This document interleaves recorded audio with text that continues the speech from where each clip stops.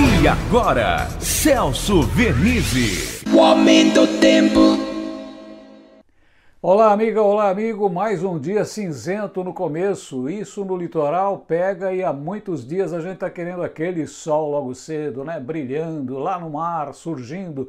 Mas tá difícil de acontecer. Ainda há aquela interferência de infiltração marítima que pega até a Serra do Mar. Hoje os períodos de melhoria vão até ser mais longos. O sol vai aparecer entre nuvens durante o dia e à tarde, com a elevação da temperatura que não vai passar dos 24 graus, a gente vai ter com a umidade que vem justamente do mar para o continente a possibilidade de chuva.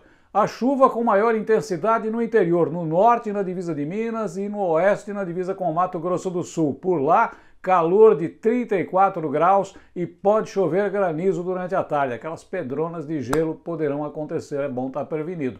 Boa parte do estado com períodos de sol. À tarde, a possibilidade de chuvas isoladas e tem uma baixa pressão indo para o Oceano Atlântico. Lá vai encontrar infiltração, outra frente fria se forma. Amanhã vem por aí instabilidade para todo o estado.